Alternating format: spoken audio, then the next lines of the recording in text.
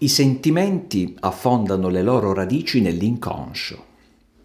Quando diciamo a qualcuno ti amo, in realtà non siamo del tutto credibili.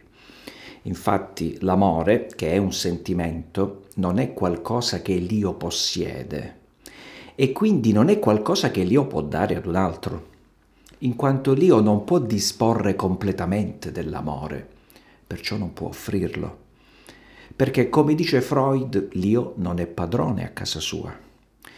Dunque l'amore non è una faccenda dell'io, anche se inizialmente l'io si crede onnipotente, ma non può governare le sue passioni. La psiche non è soltanto razionale, ma è mossa da processi inconsci. Quindi se l'io non è padrone dei suoi pensieri, come può essere padrone dei suoi amori? Dunque, quando diciamo a qualcuno ti amo, non siamo del tutto credibili. Il ti amo nasconde un inganno e nasconde anche un autoinganno che è finalizzato in un certo senso alla conservazione della specie. Dire ti amo è frutto anche dell'istinto di sopravvivenza che ci abita e ci muove in maniera enigmatica. Non a caso le esperienze dell'anima sfuggono a qualsiasi classificazione. La totalità di queste esperienze è sfuggente, è caotica, emerge dall'abisso nel quale però l'io non vuole entrare. L'io entra nell'abisso soltanto quando collassa e non oppone quindi più nessuna resistenza. Allora l'amore riesce a trasfigurare la sua abituale identità e l'io finalmente si apre il guscio narcisistico si rompe. I beni più grandi ci vengono proprio da questa apertura, che però è traumatica per l'io.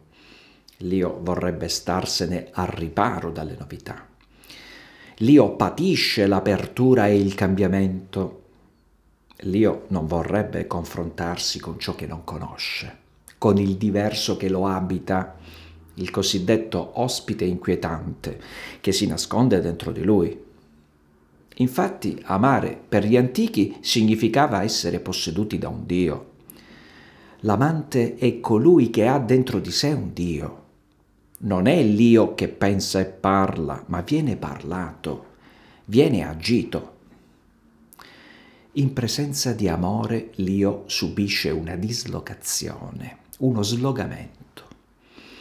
Dunque l'io non dispone dell'amore, ma è mosso da questo potente sentimento che lo espone ad una crisi, in quanto l'amore toglie l'io dal suo centro, lo decentra. L'amore irrompe nell'io scompaginandolo, quindi destrutturandolo. Qual è la fortuna di questa condizione?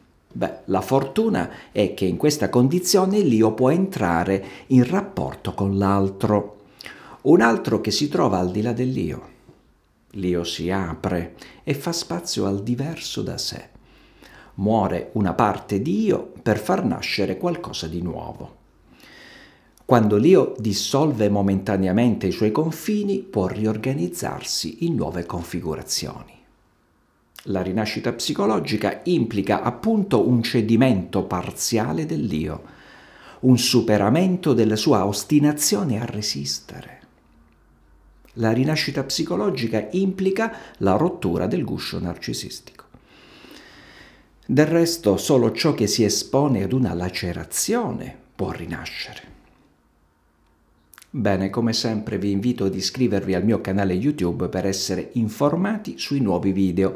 Potete trovarmi anche su Facebook dove ho fondato un gruppo dal titolo Psicoterapeuti dell'anima e ho creato una pagina chiamata La mia psicologia. Il mio sito è www.robertoruga.it. Vi informo infine che faccio consulenze psicologiche con la videochiamata su Skype o su WhatsApp, oppure consulenze telefoniche, per cui potete contattarmi su WhatsApp al numero 338 16 92 473 per richiedere una consulenza specificando il nome, il cognome e gli orari preferiti. Arrivederci.